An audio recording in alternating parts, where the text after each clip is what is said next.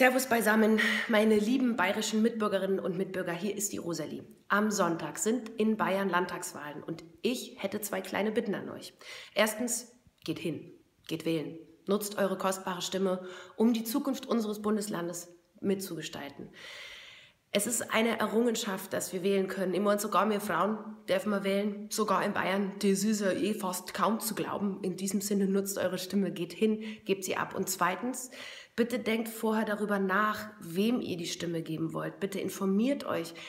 Seid so gut und nehmt euch die Zeit, schaut in die Parteiprogramme und, und haut nicht einfach eure Stimme so aus einer Laune heraus in irgendeine Partei, von der ihr gar nicht genau wisst, was die eigentlich vorhaben. Solltet ihr zum Beispiel in Erwägung ziehen, die AfD zu wählen, bitte lest euch das mal durch, was die vorhaben in Sachen Familie, Kinder, sozial Schwachgestellte, Alleinerziehende, Sozialstaat.